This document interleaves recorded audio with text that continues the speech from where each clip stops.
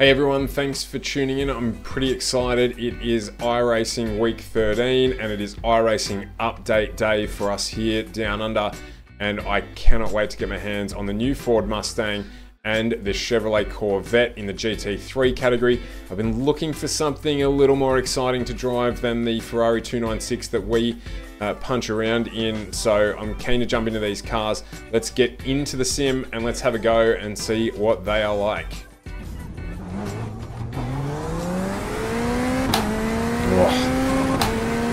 Sounds fantastic.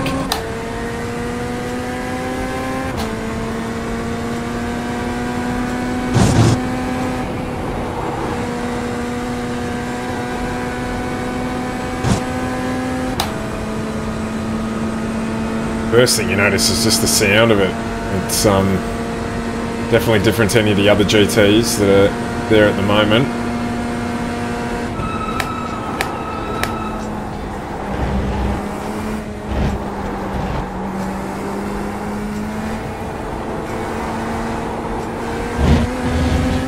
So we get some heat in the tyres. As far as the next endurance event that I'm running in,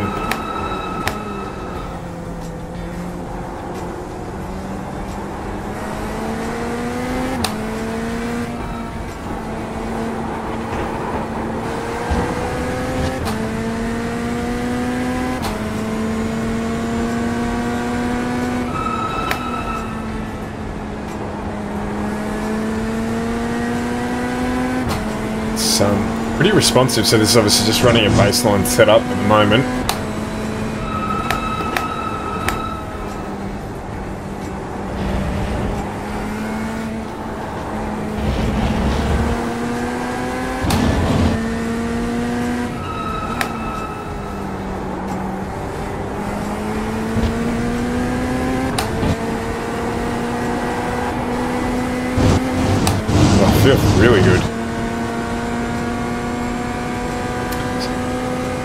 So I imagine the Mustang's probably going to be a lot more about slowing fast out, probably similar to the Mercedes in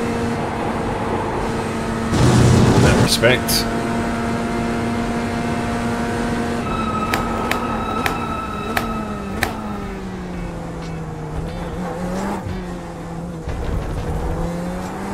Let's see, see what sort of time we can do here. Definitely won't be the quickest you've ever seen.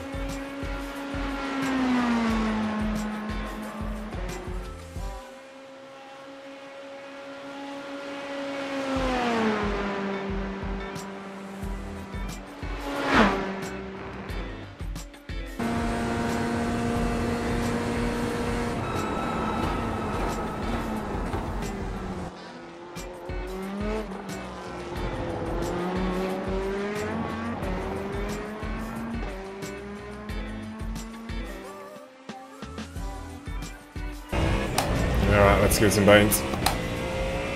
See what we get. Sounds brilliant.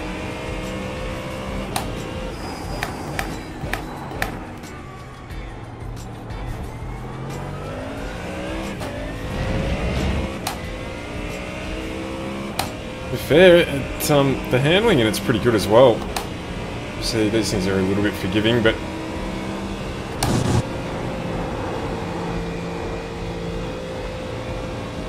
it's responsive. I'm probably a little bit apprehensive in it. Switching from the uh, Ferrari, which is my usual weapon of choice. It's um, it's definitely a big change.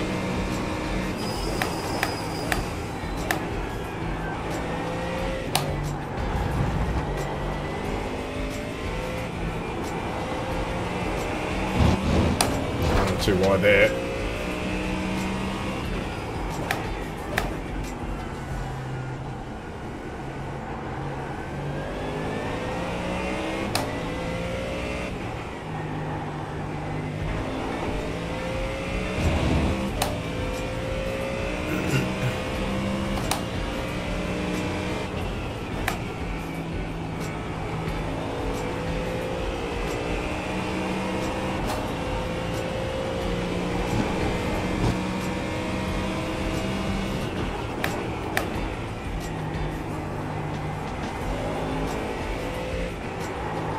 That was the driver.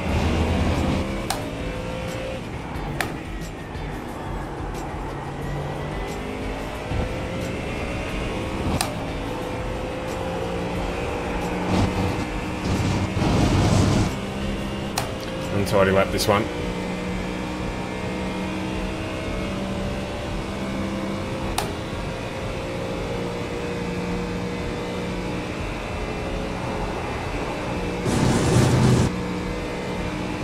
Through there pretty well.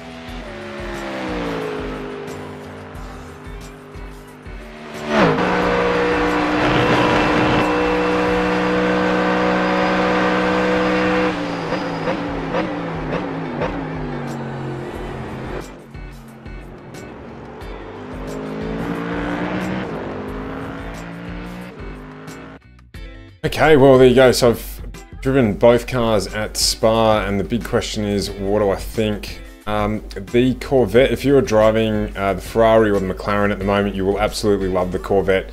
Easy to drive, uh, very compliant car and uh, good with the throttle control as well. So uh, very impressive on a baseline setup. and uh, I think that one's going to be a popular choice. But for me, the big surprise was the Mustang. I was expecting that to be, to be honest, a little bit of a pig in anything other than a straight line, and uh, it was anything but that. So took me a lap or two to get used to it. Obviously, coming from uh, the Ferrari, which is a totally different car to drive.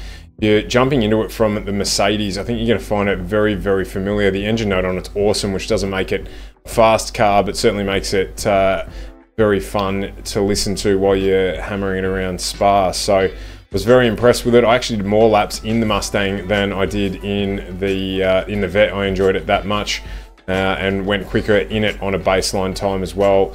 Uh, got to play around a little bit, obviously, with the uh, field of view and settings there, because uh, it's not a uh, thing that I did tonight just to jump in and have some fun in it.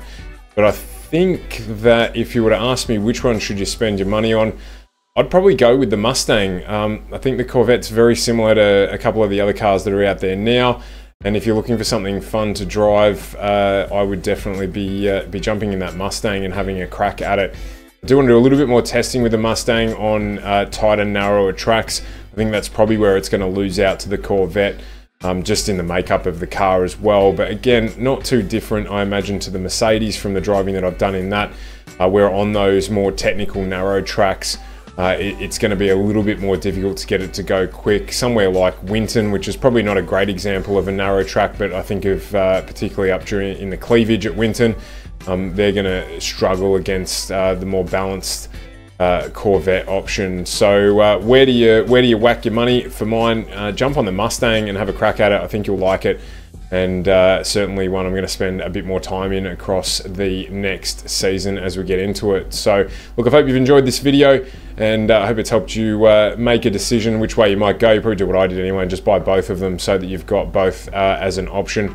A little sway for cash, then jump onto that Mustang and uh, have a crack at it, in my opinion. And let me know in the comments which was your favorite, why, and uh, which one did you end up uh, jumping on to have a crack at? Neither of them, maybe. Maybe you're stuck with uh, something that you've already got on the platform. So uh, thanks for watching, and uh, I'll look forward to catching up with you again soon.